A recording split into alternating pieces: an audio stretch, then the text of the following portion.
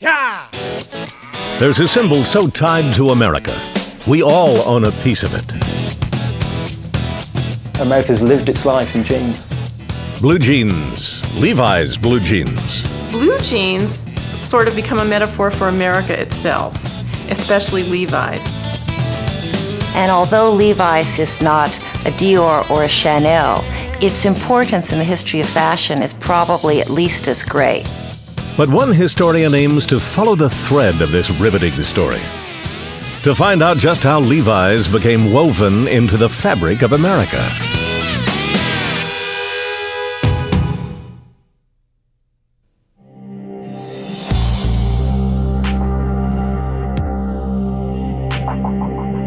January 2001, an evidence room in San Francisco. Work to unlock a mystery begins. An expert's brought in, meticulous in her forensics, her search for clues. To crack the case, she must decode these blue jeans. As Levi Strauss & Company's historian, only Lynn Downey knows how to read them. The threads will keep their secrets, offering no hint of their importance. But Lynn knows the smoking gun, the tell-all DNA of these pants, lies right in front of her. These are not a pair of 501 jeans. It's a very simple pair of men's denim work pants. Her mission is to answer if these Levi's are the oldest known pair of blue jeans. It's solving a mystery, and it's part of my job to fill in those blanks. And could these Levi's, a type Lynn has never seen before, shed light on the history of jeans? Can they offer hints of how humble work pants became an American icon?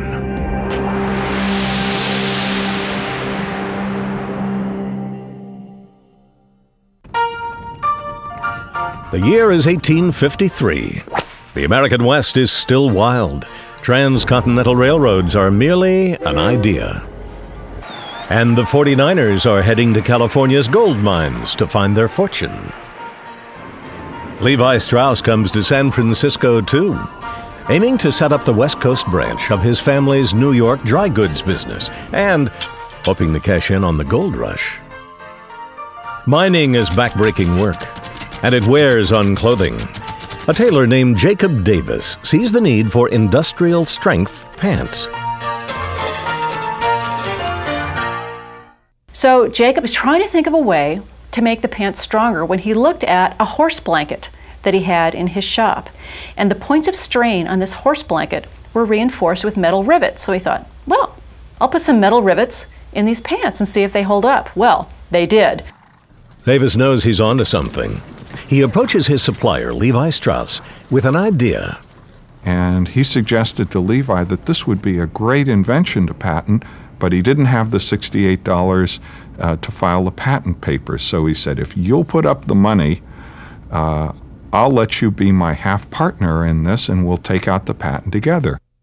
Levi says yes, and on May 20th, 1873, less than a decade after the Civil War ended, Jacob Davis and Levi Strauss jointly are granted the patent for the world's first jeans.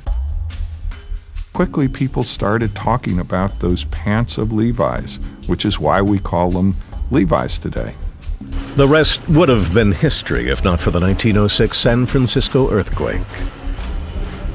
The city by the bay tumbles down, including Levi Strauss & Company headquarters. Years of historical design records and garments are destroyed. Our offices were reduced to rubble, so we lost a lot of our history.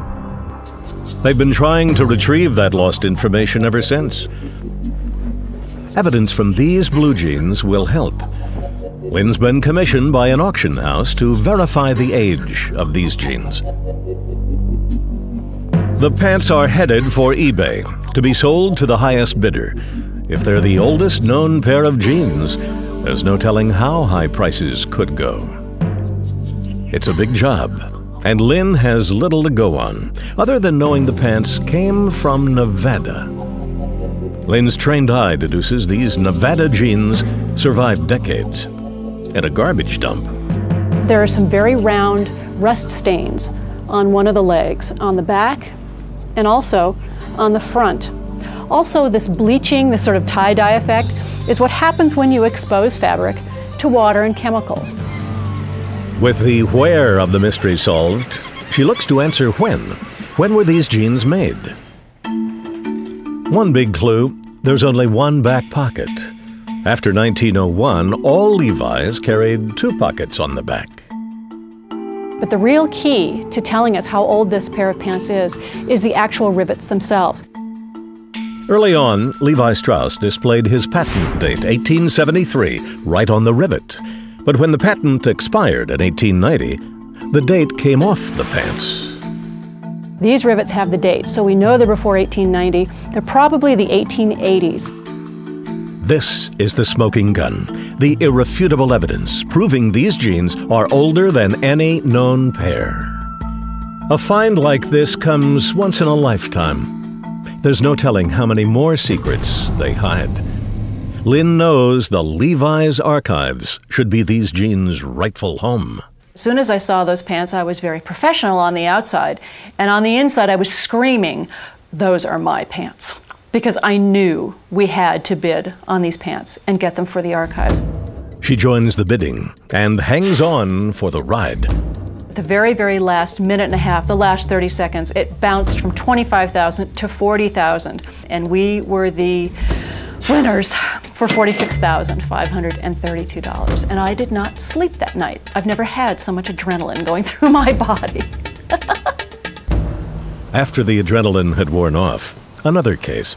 This one starts right at home with a pair of waist overalls at Levi headquarters. It's a case gone cold for more than 80 years.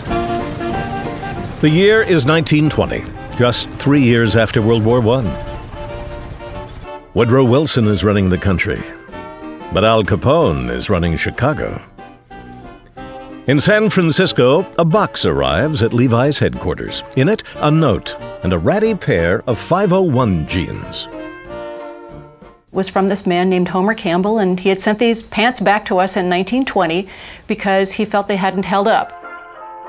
I purchased these overalls in the early part of 1917, and I have worn them every day except Sundays since that time. And for some reason, which I wish you would explain, they've gone to pieces. Please consider this and let me know if the fault is mine. Homer Campbell. The jeans are curious. Patches from waistband to hem add to the intrigue. And we thought, wow, these pants must have really fallen apart for him to need to, to put these patches all over them. The search for answers brings only questions. There's nothing wrong with the pants under all of these patches. This is padding. This guy, this Homer Campbell guy, covered the upper thigh and his, the seat of his pants with padding. And that brings up another clue. Why would Homer need padding? What type of life did he lead? Homer mentions that he'd bought his pants in Wickenburg, Arizona, but he offers no details about himself or his profession, heightening the mystery. The fact that I didn't know anything about Homer Campbell, I didn't have a response in my files of letters, made me understand that this was a piece of a puzzle that needed to be solved. The case is definitely the opportunity of a lifetime. In the early 1900s, Wickenburg's main industries are gold mining and ranching. Was Homer a miner or a rancher? Based on a hole in the right back pocket, we surmised that he might have been a farrier because of the kind of tool that you need to use to clean a horse's hoof. Maybe he kept putting it in his back pocket and wearing it through.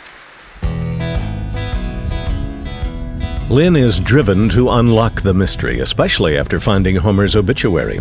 It opened up the possibility that Homer was a miner, not a farrier. The only way to find the truth hit the road for Arizona. To go there is simply to give me the sense of satisfaction as a historian that I followed every lead to the very, very last place it has to be. And I'll know inside myself that I've done everything I need to do to learn about Homer.